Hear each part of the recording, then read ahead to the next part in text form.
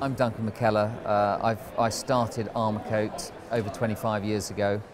Uh, we started in, in, making plaster for squash courts, but quickly became uh, synonymous with polished plaster and plaster finishes um, that we pioneered and have continued to develop uh, over the last two and a half decades. The most common substrate for our plaster for interior is plasterboard. Uh, it's a very, it just works very well. It's it makes for quick construction, gives you an inherently flat surface. Um, it's resistant to cracking.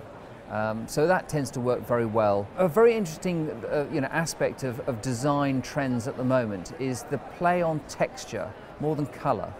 You tend to get um, that the colour palette at the moment tends to be neutrals, browns and, and variations on greys, with the occasional splash of colour. But the, the, the, the, the splashes of colour don't tend to come from the wall finishes, they tend to come from accent pieces. We can create almost any colour that a client may require. And we have two ways of creating the colour. For the light neutral colours, we can often create colours by using the natural minerals or the different coloured marbles and combining them.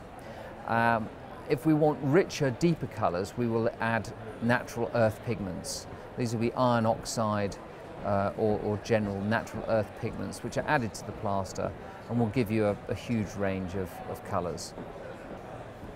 One of the beauties of plaster finishes is that they can be applied to both flat and curved surfaces.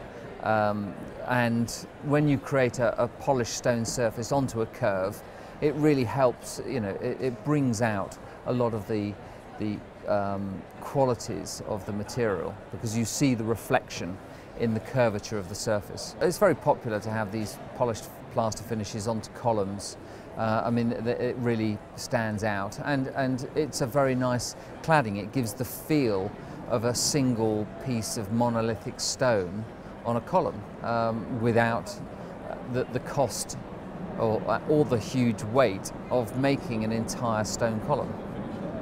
We've seen a, a, huge expansion recently um, in the sort of high-end luxury residential sector.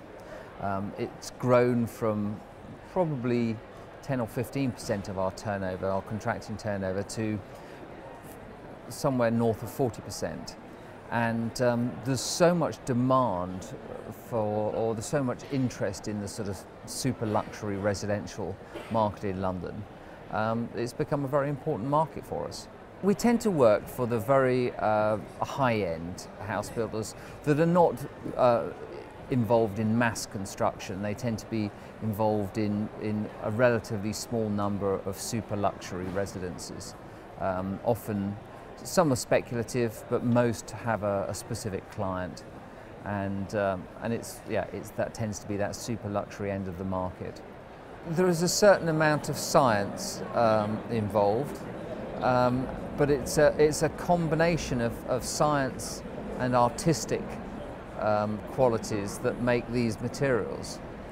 Um, it's, in, it's important to be able to formulate the products so that they work well, and that comes from a combination of a scientific understanding and a feel for using the materials and a sense of the artistic purpose to which they are put to.